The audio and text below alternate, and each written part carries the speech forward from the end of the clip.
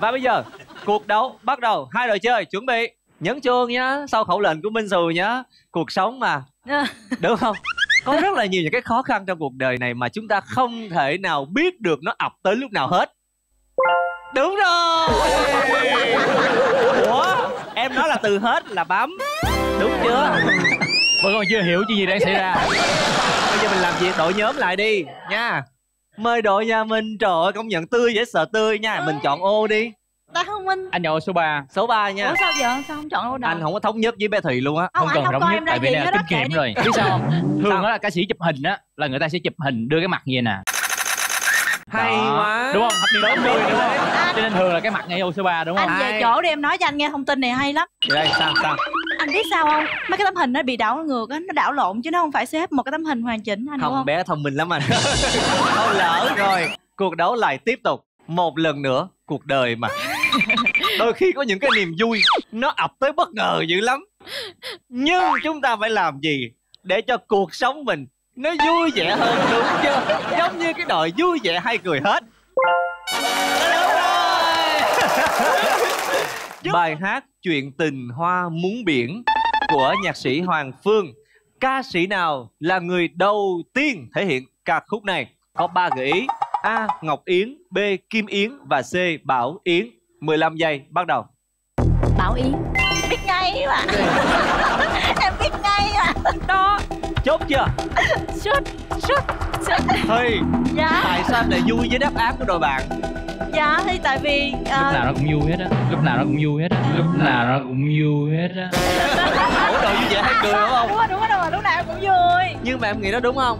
Dạ không. Chứ em chọn phương án nào? Ủa tại sao em phải nói? Em phải nói lỡ như bên kia ta trả lời sai. Em trả lời đúng em có điểm đội mình. Nhưng mà chút nữa em trả lời bên đó sai đi còn em trả lời. Em không cần trả lời nữa chính xác chút thấy chưa? Lúc nào cũng vui hết.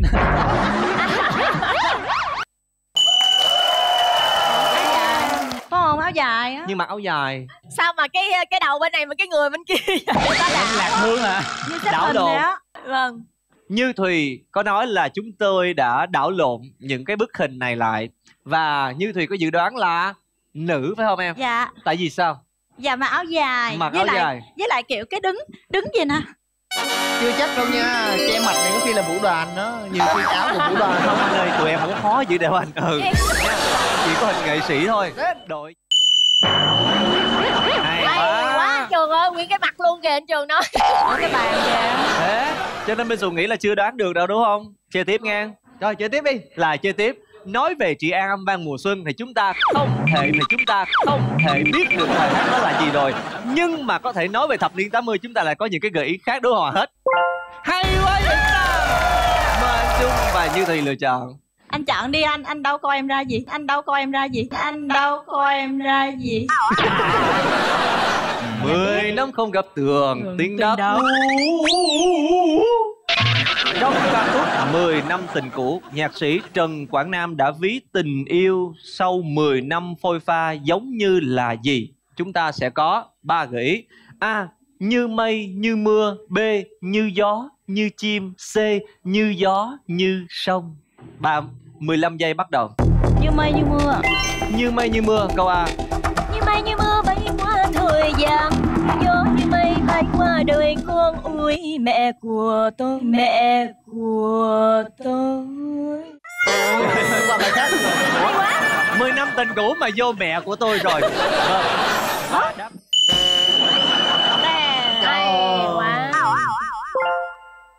trả lời luôn được không đấu được hả Khoan.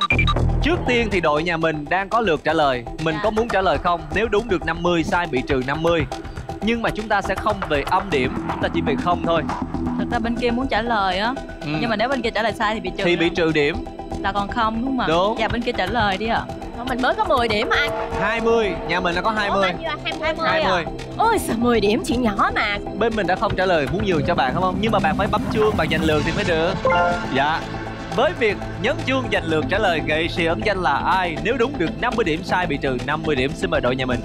Đội như đoán là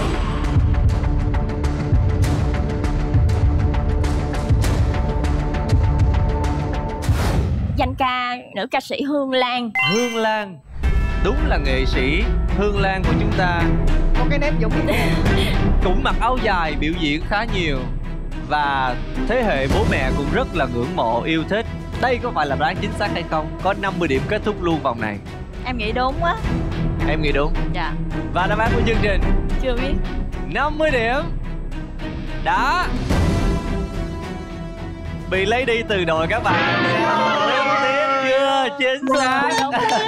Tuyệt vời lượt của mình bắt đầu gói gọn hơn rồi. Không phải nhã phương không phải cô hương lan. Vậy ai? Bây giờ mình trả lời đi.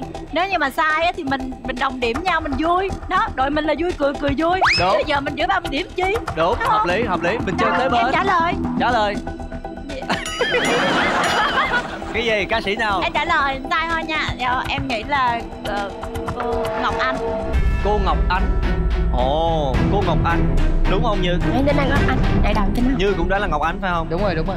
Và ca sĩ ngọc ánh có phải là đáp án chính xác của chương trình hay không? Bởi vì đội nhà mình cũng đã trả lời sai rồi. Đội bên đây trả lời sai là cũng quay về không luôn. Dạ. Và đáp án chính xác của chương trình đó chính là ca sĩ